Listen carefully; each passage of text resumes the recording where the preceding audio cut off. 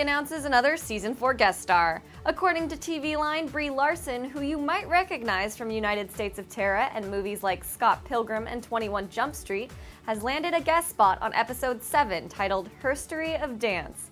Details on her character are being kept under wraps, but we do know that the episode will center around Greendale's Sadie Hawkins dance. Don't miss the premiere of Community when it airs October 19th on NBC.